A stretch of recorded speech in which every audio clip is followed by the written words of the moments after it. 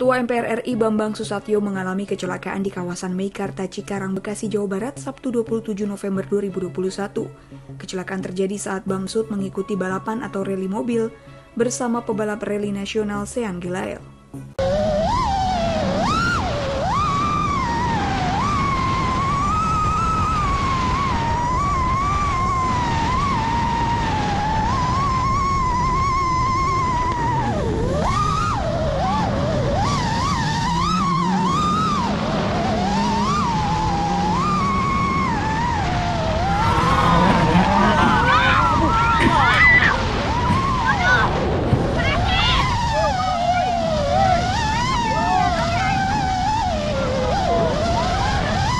Mobilnya tapi alhamdulillah saya dan Sean aman.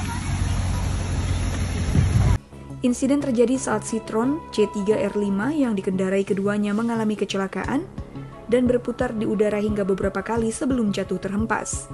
Meski mobil yang ditumpanginya rusak parah, namun Bambang yang juga Ketua Umum Ikatan Motor Indonesia atau IMI ini bersyukur dirinya dan Sean selamat. Ini mobilnya tapi alhamdulillah saya dan Sean aman.